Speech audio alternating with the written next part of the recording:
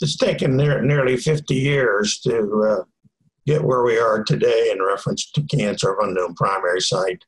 Uh, the, it's accelerated, however, in the last 10 to 15 years with the advent of uh, additional diagnostic pathologic uh, testing, particularly immunohistochemistry, as well as uh, molecular testing with molecular cancer classifier assays.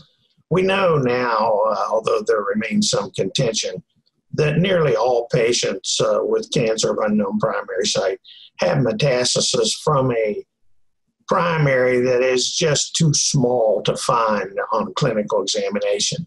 Yet post-mortem exams show that the majority of these patients uh, indeed do have small primaries. The reason for this remains somewhat unknown, how such a small cancer can metastasize and then the metastasis grow and the patient presents with metastasis, yet you can't find the primary.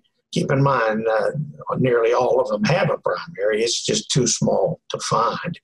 We've learned, uh, again, by studying the metastasis in these patients, uh, mainly with immunohistochemistry and now molecular cancer classifier assays, that they are a compilation, these patients, of many different cancers. Some of the more common cancer types, uh, such as lung, uh, breast, gastrointestinal, are among others.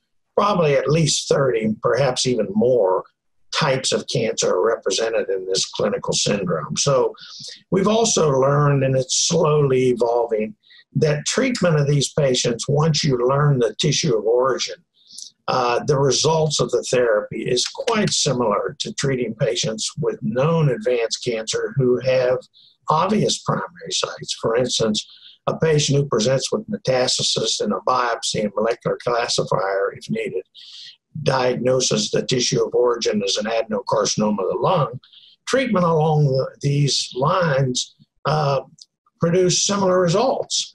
Uh, we need more data, and this is coming forth. We've learned that several subsets of patients are more likely to do well. We call these favorable subsets. We've learned about these over the past many years, and now we're learning about others. Again, because we can diagnose the tissue of origin in most of these patients by the combination of the clinical features, the pathology, including the immunohistochemistry, which is now done in panels and can often be quite highly suggestive of the cancer type, and if necessary, a molecular cancer classifier assay. We've also learned that patients with cancer of unknown primary site have many genetic alterations. These are detected by comprehensive molecular profiling, which is different than a molecular cancer classifier assay.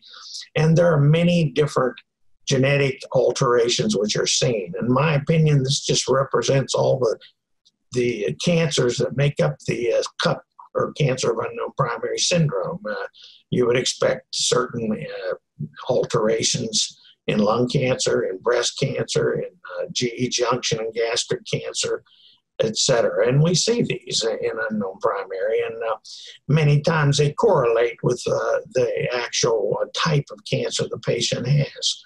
So I think we've uh, made some major headway in learning what type of cancers these patients have, and then learning to treat them according to the cancer type, similar to what, how we treat patients with known primary cancer.